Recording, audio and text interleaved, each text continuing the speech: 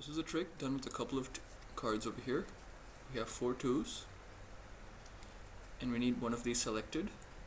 So I'll go ahead and just use the two of clubs.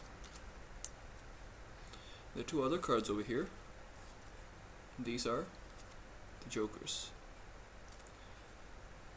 What's going to happen is the two jokers will be placed into the deck in different spots.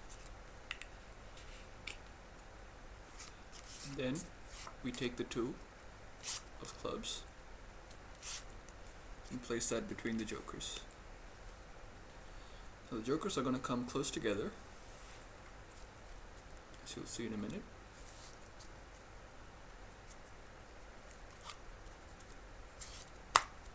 And they are going to find the two. And if you're watching closely, you'll notice it happened over here.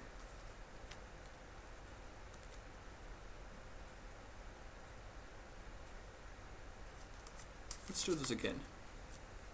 Now remember, the two of clubs is between the jokers, and this whole thing is going to be cut into the middle. But before that, we'll have another card selected. So let's go ahead and use the Ace of Spades. Okay, so the Ace of Spades